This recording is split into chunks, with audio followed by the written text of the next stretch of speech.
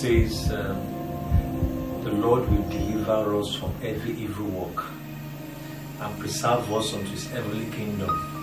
That's the scriptures, and the word of God is true. So as you go out today, even in the midst of this global pandemic, the Lord will preserve you.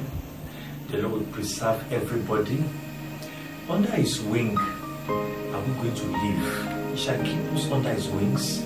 Shall keep us under his feathers. He shall keep